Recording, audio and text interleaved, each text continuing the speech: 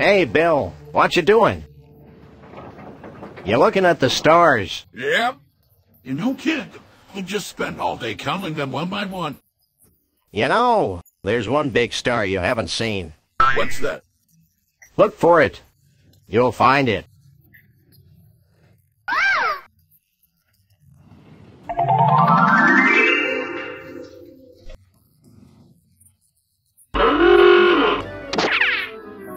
Hope that has standed you further into Stardust.